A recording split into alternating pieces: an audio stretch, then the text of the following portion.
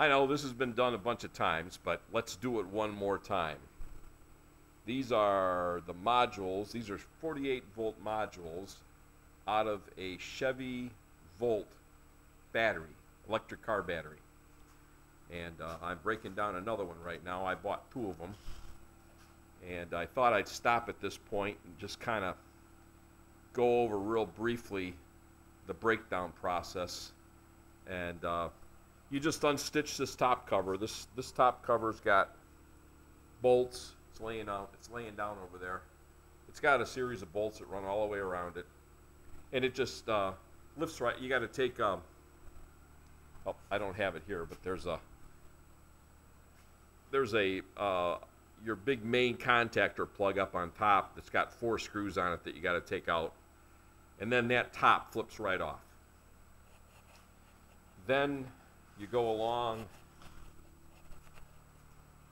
and there's there's a little bracket that sits along the edge of each one of these battery packs here. Sits right there. You take these nuts off. You get that bracket out of there. That's one of these guys. And then once you get that bracket off of there, then you can, then you can, um, these will, these will come up. These will lift right out.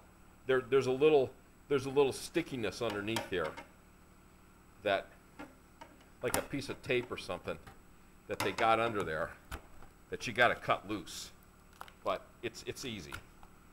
Uh, then I just take a sawzall. You can see the sawzall laying here and I just saw off these water, there's water pipes that run between each one of these. The same thing back here. There's water pipes because there's coolant that flows through these batteries to keep them cool. And uh, that's all connected, you know, so you got to cut that off. Uh, and I found that, you know, Sawzall just makes it makes a fast job of, out of it. Now, the next thing I'm going to do is I'm going to lift these. I, I, you got to cut these straps with a, uh, I just tin, just tin snips will cut these straps because I'm breaking these down into 48 volt modules. Like this is a 48 volt module, this is a 48, a 48, 48, a 24, and then on the back side you got a 48, a 24, 48, and 48. So what you end up with is you end up with eight 48 volt modules because you take the two 24 volt, volt, volt modules, you take this one, and you take that one when you're done, and you marry them together. And here they are married together. This is from the battery pack that I broke down last night. And I'm going to have to put a, a, a wire going from here to here so that I will then have 48 volt potential between these outer two outer lugs, and that will match these other 48 volt packs. So um, once you get the um, once you get these lifted out, then the next thing you do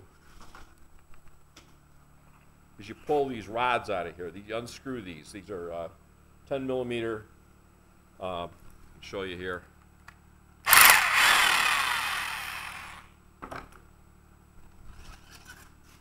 These rods come out. Throw them away. Uh, you're going to get some coolant leaking out of here. No big deal. Just let it go on the floor and wipe it up. It's not a lot. Maybe a cup or something is all you get. And uh, then these end plates come off. Then these will separate. And like this has got a little plate in here. That's for the coolant on the other side. You just throw that away. That, that's not used. And uh, now, what's going to happen is these modules See, they're tied together on top with this plastic. Let's walk over to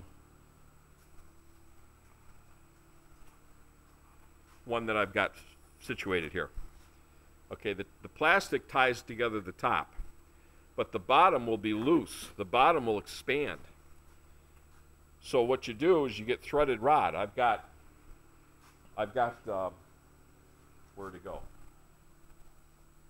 I bought two foot long pieces of threaded rod from Home Depot. This is a quarter inch.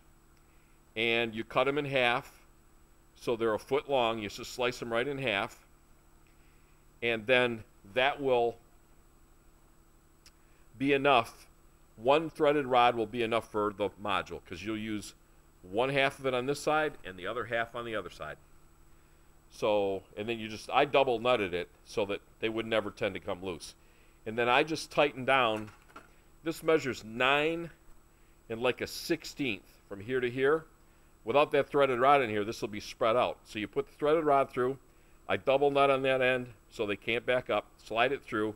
And then I just tighten up this end until I measure the same dimension here.